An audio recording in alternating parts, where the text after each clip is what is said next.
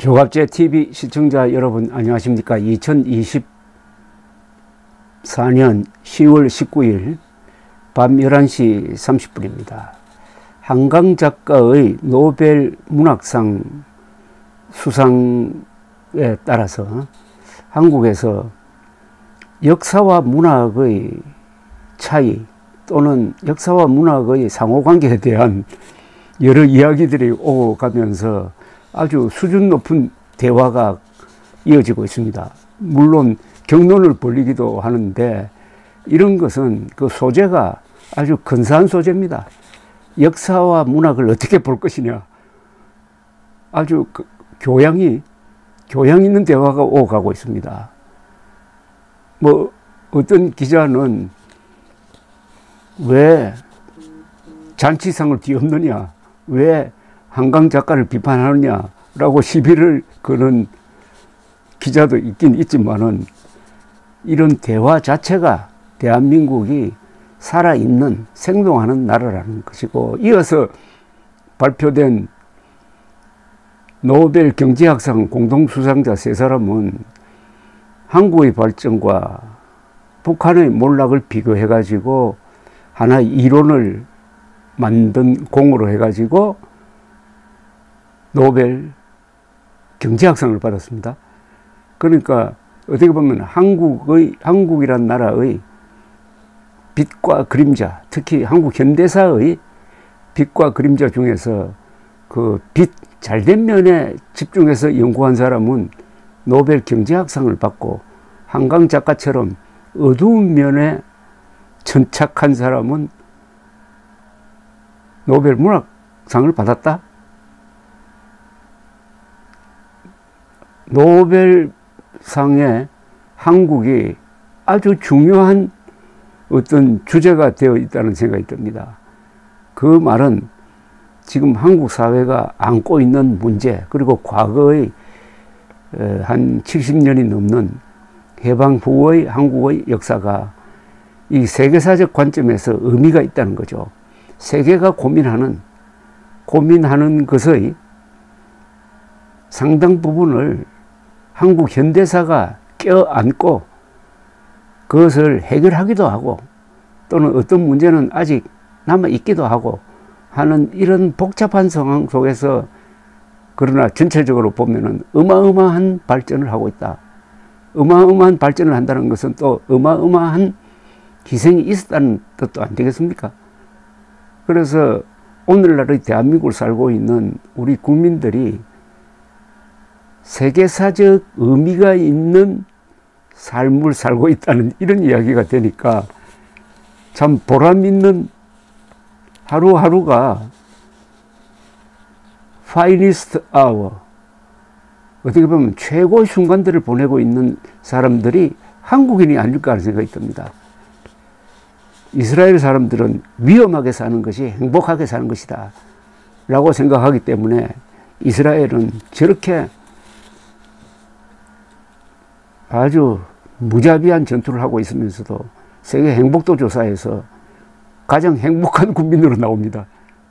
반대로 한국 사람들은 자주 국방을 포기를 하고 일상적인 삶의 탐닉을 하면서 어떤 욕망을 끝까지 추구하다가 보니까 행복도 조사에서는 한 50등 정도로 나옵니다. 어떤 경우에는 내전하는 나라하고 비슷합니다. 비슷합니다. 그런데 실질적인 생활은 풍요로운 생활을 하고 있습니다. 이런 한국을 이해하는 것은 역사적 접근 방법도 있고 문학적 접근, 방법도 있다. 이렇게 생각되는 겁니다. 그런 생각을 하게 했다는 점에서 한강 작가의 노벨 문학상 수상의 의미가 있다고 생각합니다. 자격이 있느냐 없느냐가 아니라 아니라 그 수상 그 자체가 한국 사람들의 생각을 넓히고 자극도 주고 한다는 점에서 그 수상은 의미가 있다는 생각이고 그런 점에서 좋은 글 하나를 소개를 해드리겠습니다. 지난 10월 16일자 동아일보 송평인 논설위원 칼럼의 제목은 한강 문학과 역사였습니다. 이 칼럼은 이렇게 시작됩니다. 한강의 작별하지 않는다는 제주도 4.3 사건을 배경으로 한다. 역사라면 제주 4.3이 공산주의자들의 경찰서 공격에 의해 촉발됐다는 사실에서 출발하지 않을 수 없다.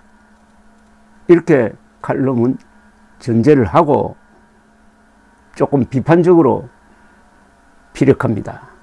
작가는 거두하고 궁경에 의한 학살로 단도직입한다.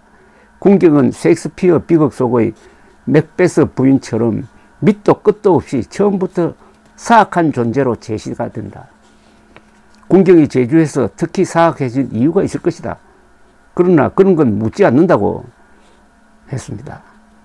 그러면서도 작별하지 않는다가 주는 감동은 같은 시대를 다룬 선배 작가들과는 달리 이념이 전면에 드러나지 않도록 하면서 학살의 고통으로 응어리진 한 가족의 상처를 가슴 아프게 그려냈기 때문이라고 호평을 했습니다.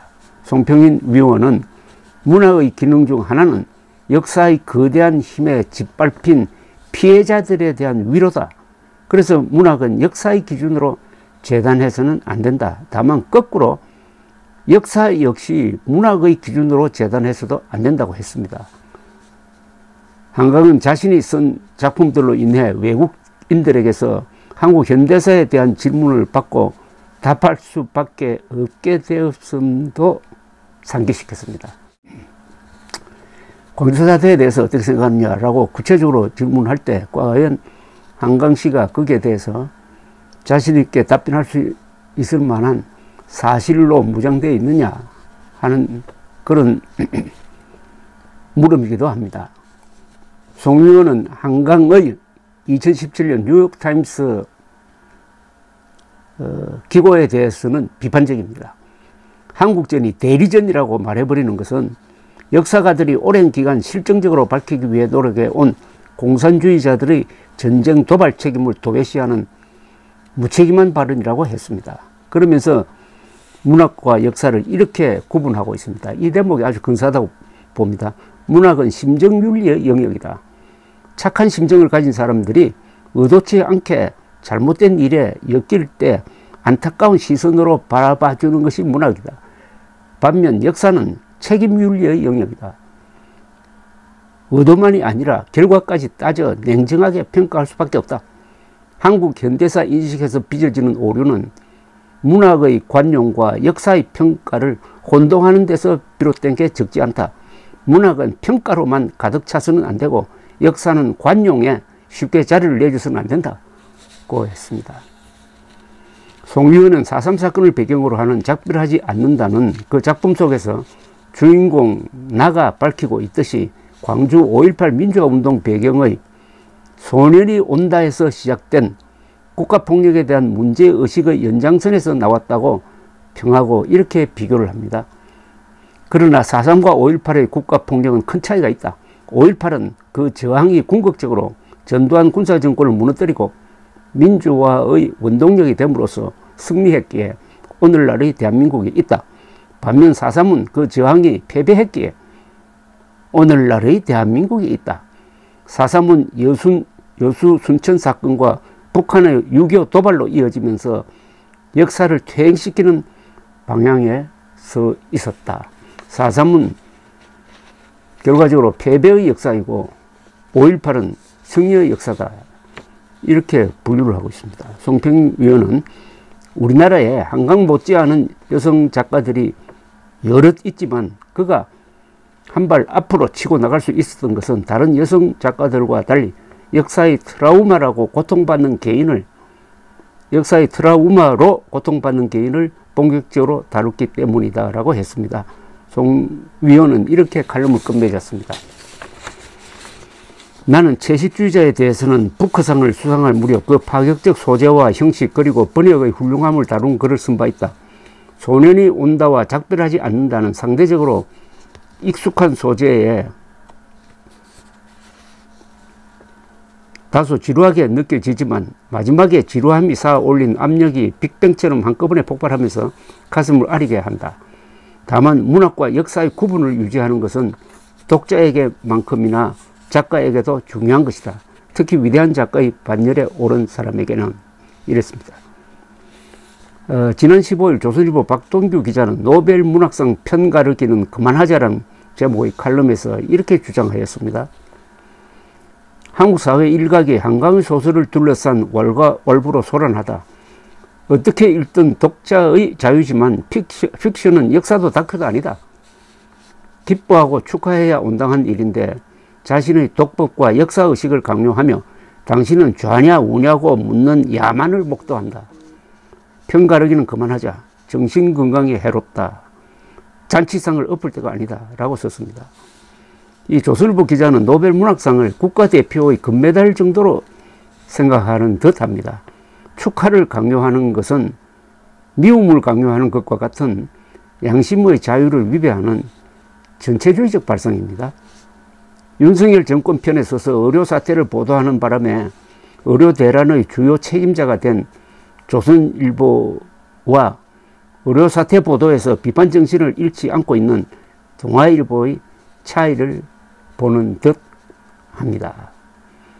소설가 이병주 선생은 신동아에 연재한 소설 산하에서 태양에 바래면 역사가 되고 월광에 물들면 신화가 된다는 명언을 남겼습니다. 그는 생전에 역사는 삼봉우리를 기록하고 나는 골짜기를 기록한다는 말을 하기도 했습니다. 역사와 문학의 기능을 서로 이해하면서 상호 존중하려면 공통 분모가 있어야 하는데 그것은 역시 사실일 것입니다. 문학이 역사를 다루는 순간부터 사실의 규제하에 놓이게 된다는 이야기죠. 문학이 역사가 아니라 뭐 공상이나 상상을 다루면은 역사적 평가는 필요 없습니다. 그러나, 그러나 4.3 사건이나 5.18처럼 역사를 다룰 때 그 문학은 사실의 범위를 너무 크게 벗어나면 안 된다. 그게 싫으면 역사를 다뤄서는 안 된다는 이야기죠. 한국의 발전과 북한의 몰락을 연구한 미국 경제학자 3명이 올해 노벨 경제학상을 받고 한국 현대사의 그늘을 천착한 소설가는 노벨 문학상을 받았습니다. 한국 현대사의 빛과 그림자가 만들어낸 상이라고도 볼 수가 있습니다. 한반도가 껴안고 있는 이 고민이 세계사적 의미를 품고 있다는 예입니다.